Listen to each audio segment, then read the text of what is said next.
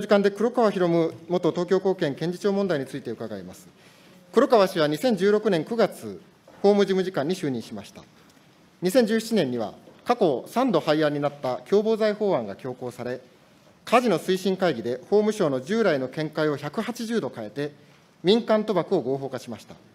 18年には、官邸肝入りの外国人労働者受け入れ拡大法案が押し通されました。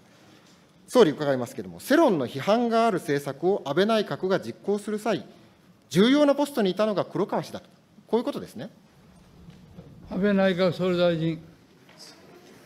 あの黒川氏につきましてはです、ね、これはあの、われわれ政権交代をする前からです、ね、例えば官房長という要職を務めておられたというふうに承知をしているところでございます。あのいずれいたしましてもです、ね、あの今回の処分につきましては、必要な調査を行った上で、法務省および検察庁において、事案の内容等、諸般の事情を総合的に考慮して、あの決定したものと承知をしているところでございます。山添拓君。処分のことは私、伺ってないんです。えー、パネルをご覧ください。2018年、我が党の辰巳孝太郎参議院議員が暴露した文書です。森友文書改ざん事件をめぐり、5月23日の後、調査報告書をいつ出すかは、刑事処分がいつになるかに依存している。官邸も早くということで、法務省に何度も巻きを入れているとあります。当時の法務省、つまり法務事務次官は黒川氏ですね。誰に聞くの？あ法務大臣。法務大臣、森法務大臣。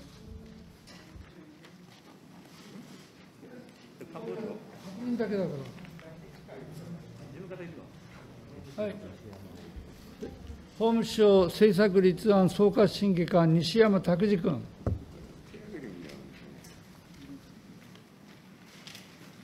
ご指摘のとおりでございます。山崎拓君。刑事処分が5月25日夜は夜という話はなくなりそうで、翌週になりそう。で、事実、不起訴処分は翌週の5月31日でありました。官邸は黒川氏に薪を入れたのですね、総理。誰誰に？麻生財務大臣。あの通告全然ありませんので。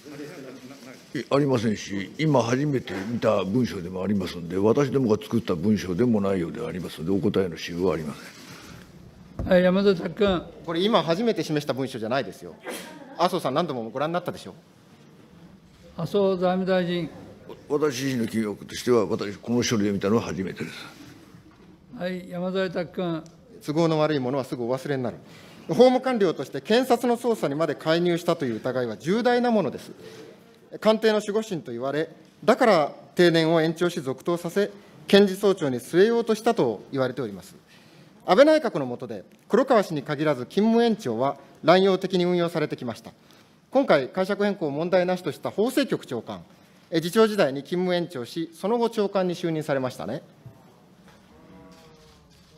はい、内閣法制局長官、近藤正春君。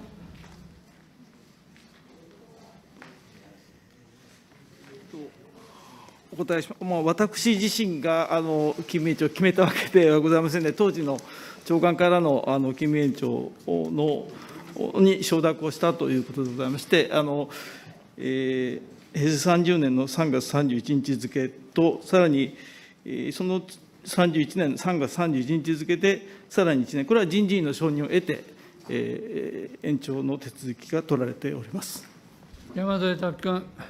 前任の横畠氏は、集団的自衛権の行使を容認する憲法解釈の変更を認めた人物です。この方も勤務延長で長官に就任したんじゃありませんか？はい、近藤長官。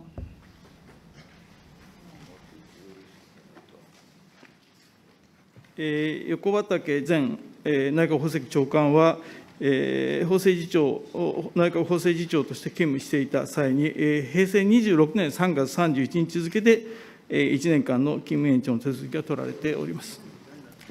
はい、山添君。あの安保法制当時の自衛隊統合幕僚長、河野勝利氏も3回も勤務延長を繰り返しています。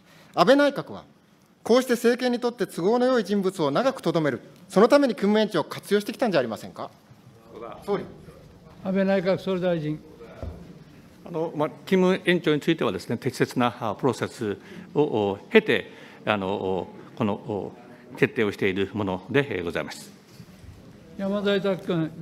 あの総理が検察官も行政官だと強調されるのは、検察官についても、こうした恣意的な人事を可能にしたいという宣言に他ならないものです。しかしそれは、準司法官だという検察官の特殊性を踏まえず、三権分離を脅かすものです。